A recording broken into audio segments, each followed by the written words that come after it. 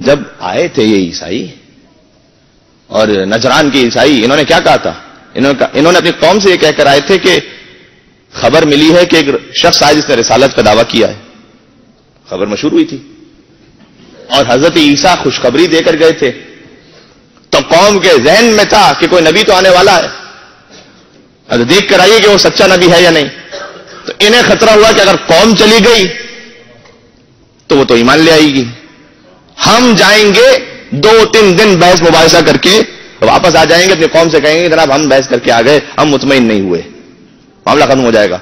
پہلے دن جب پہنچے، تو پہلے دن پہنچ کر انہوں نے کہا کہ ہم نجران کے عیسائی پادری ہیں۔ حضور نے جانتے کیا جملہ کہا؟ کہ اچھا تم میں کوئی عیسا کی علامت تو نظر نہیں آتی مجھے؟ اللہ اکبر۔ بھائی عیسا کا تو زہد و تقوی مشہور تھا۔ تمہارا فاخرانہ لباس دیکھو۔ عیسا کی بندگی مشہور تھی، تمہارا انداز گفتگو دیکھو۔ اس میں غرور جلک رہا ہے۔ مجھے تو عیسا کی کوئی علامت تم میں نظر نہیں آتی۔ یعنی اگر کوئی کسی نسبت کا حضور کے سامنے دعویٰ کرے۔ میں علی مرتضی کا محب ہوں۔ پہلا سوال یہ ہوگا، مجھے علامت تو دکھاؤ۔ میں علی ولی اللہ کا کہنے والا ہوں۔ حضور پلٹ کر یہ نہ کہے۔ اچھا سب سے بڑی علامت کون سی ہوتی ہے انسان کی؟ کس سے پہچانتا انسان؟ کسی کو؟ چہرہ؟ بھائی تم جو چہرہ لے کر آئے ہو، اس چہرے میں تو مجھے علی کی کوئی علامت نظر نہیں آتی۔ آج میری بات پہنچے۔ تم چہرہ لے کر آئے ہو اور کہہ رہے ہو کہ میں علی مرتضی کا ماننے والا ہوں، مجھے تمہارے چہرے پہ کوئی علامت علی کی نظر نہیں آتی۔ علی کا جو چہرہ تھا، تمہارا چہرہ ویسا تو ہونا چاہیے۔ اس میں کچھ مماثلت تو ہونی چاہیے۔ آج سب میرے جوان ساتھی، یہ شیطان بہکا دیتا ہے۔ مولانا I am young and cool I can't have beer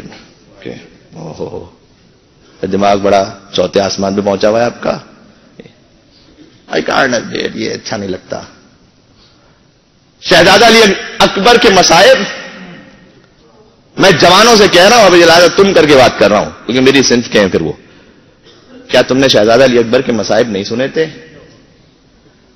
پہلے اشرے میں اشرے اولا میں جب شہزادہ علی اکبر کی شہادت بیان ہو رہی تھی، سب نے گریا کیا تھا یا نہیں کیا تھا؟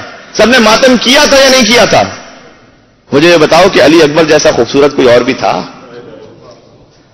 علی اکبر کے جس کے چہرے کو عیسائی عورتوں نے دیکھا تو کہا خدا کرے اس کی ماں زندہ نہ ہو۔ اور ان میں لہلا نے اپنے چہرے سے بالوں کو ہٹا کے پوچھا کہ اس کی ماں نے تیرا کیا بگاڑا ہے؟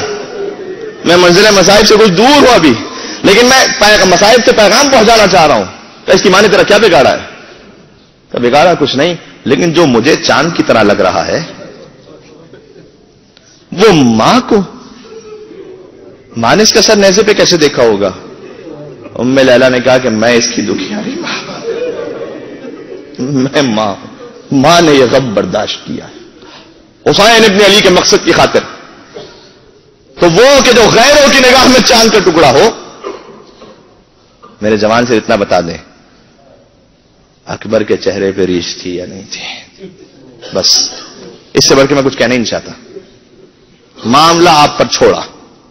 اے نوجوان دوست وہ دین دین نہیں جوانوں سے بات بزرگوں سے بات ہی نہیں جوانوں سے خالی اے نوجوان دوست وہ دین دین نہیں جس دین میں عمل پہ کامل یقین نہیں اکبر کے ریش تھی تجھے داڑھی ہے ناگوار لیلا کے چاند سے تو زیادہ ہنسی نہیں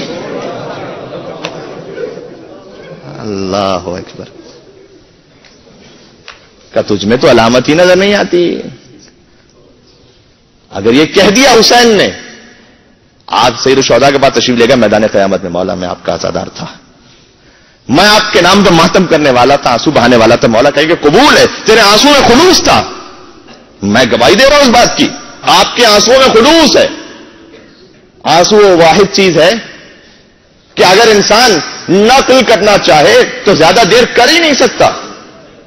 جو آنسو جس ادادار کی آنکھ سے نکلتا ہے، میں ان آنسو کی قسم کھانے کو تیار ہوں۔